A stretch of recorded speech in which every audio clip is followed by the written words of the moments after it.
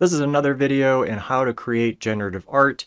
This is part two of two videos on arrays. If you haven't watched the first video on arrays, the basics, go watch that first and then come here. In this video, we'll be looking at specific examples of how I've used arrays in my generative art. Let's get started on that. Three of these are animated. This one, this one, and this one. And so for all three of those, I'm using that technique of pushing things into the array, taking things out of the array, having two different arrays, and replacing one with the other. This is Floral Fusion. Let me run that so you can see the animation. This project was a collaboration with Nomadic Frame, a photographer, and besides the animation uh, array, there's also another array used in this, which is loading the images, the photographs, so if you look on the side here, I've got all the photos from Nomadic Frame and I've labeled them all. Uh, this is Nomadic 7, Nomadic 8, Nomadic 9. When you load images, you should load them in preload so that they'll all be in memory when you get into setup and draw. So in the preload, if I were loading one of these images, I would say img equals load image and I'd name the image that is right here. Well, I wanted to load all of these images. I didn't want to have to name every image. So that's why I've got all of these using the same name but just with a new number. So when I do the preload, I do a for loop and I go through all of the images, the number of images I have, and I put those images into an array of images.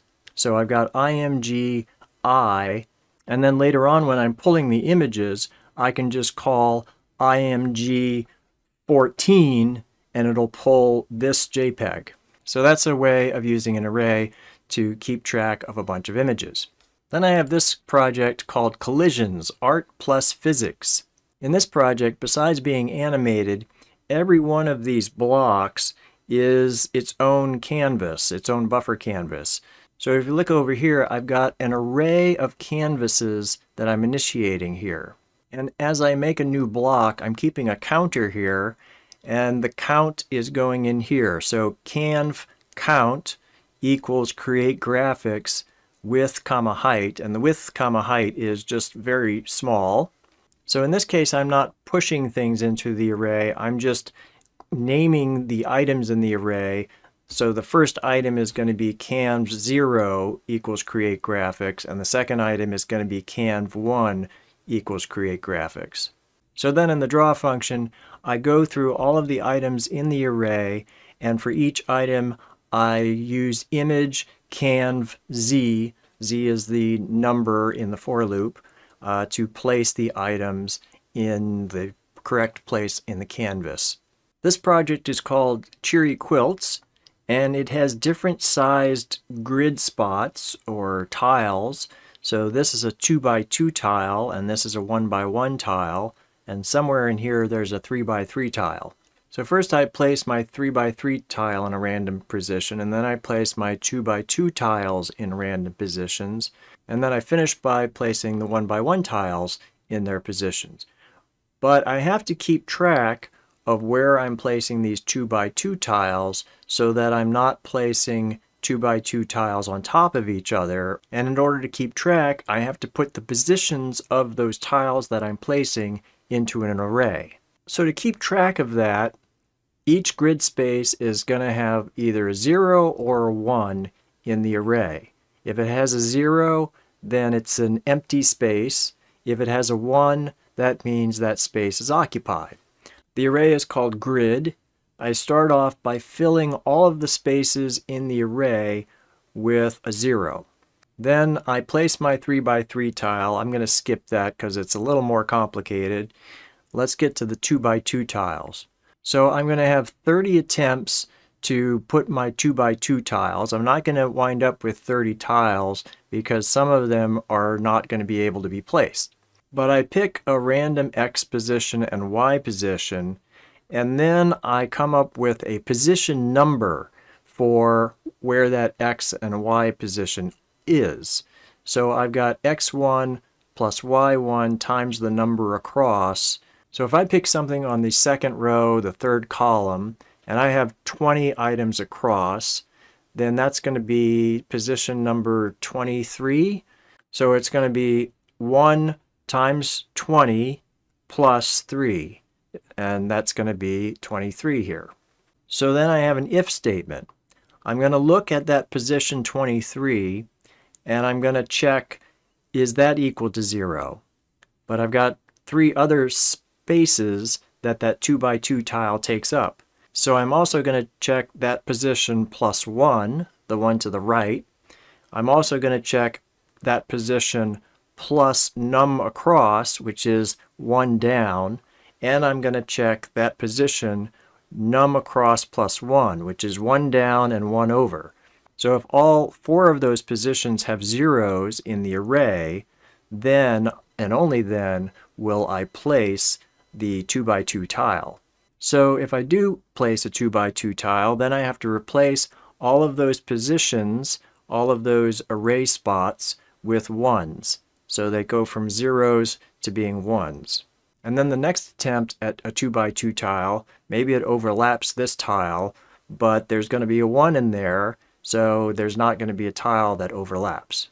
And then once all the 2 by 2 tiles are placed, then I can just go through the grid one by one and check does that spot have a 0 or a 1? If it has a 0, then I can place a tile there.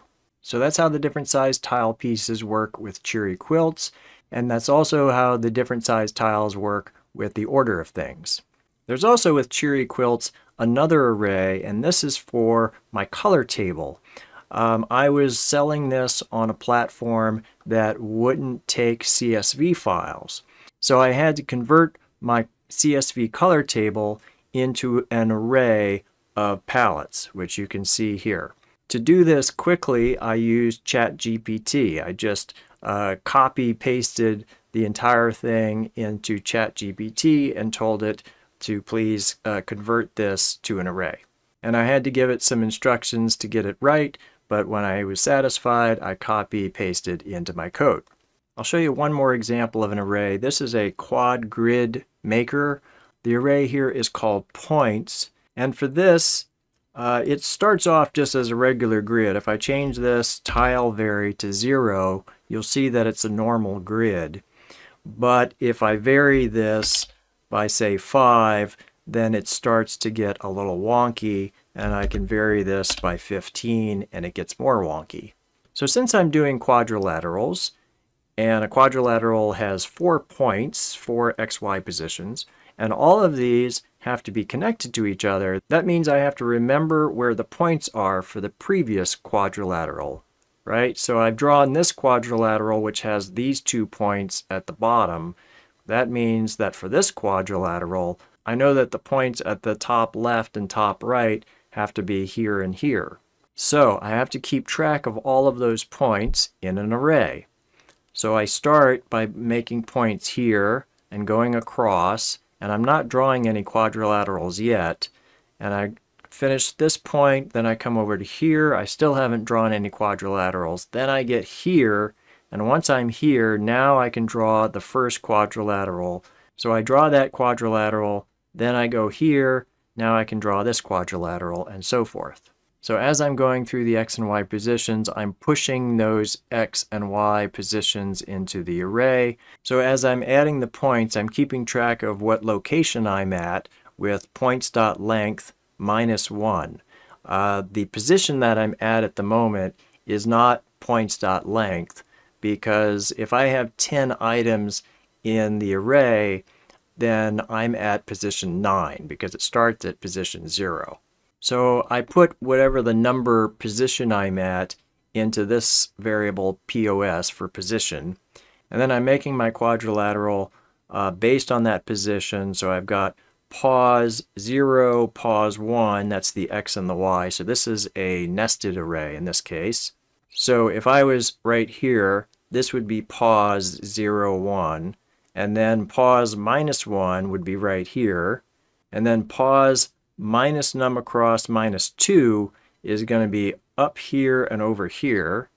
and then pos minus number across minus 1 is going to be here. So I go here, here, here, and here. I'm going to share a link to this example in the video description as well. I'm doing the editing and I realized I wanted to add a couple of things. There are a bunch of other functions that I haven't talked about. Uh, some of them are native to JavaScript and I will leave a link to this page showing all of these functions and then on the P5 reference page there's also a bunch of P5 array functions. So that's it for arrays. In the next video, we're going to be looking at sine and cosine and other trigonomic functions which can be used to make wonky circles and draw a meandering line across the canvas. As always, if you have questions or comments, you can leave those in the video comments. Uh, you can also post to my Discord and you can post art to my Discord. If you like this video, you can give it a like, consider subscribing to the channel, and ring the bell for notifications. Thank you for watching. I'll see you in the next one. Bye!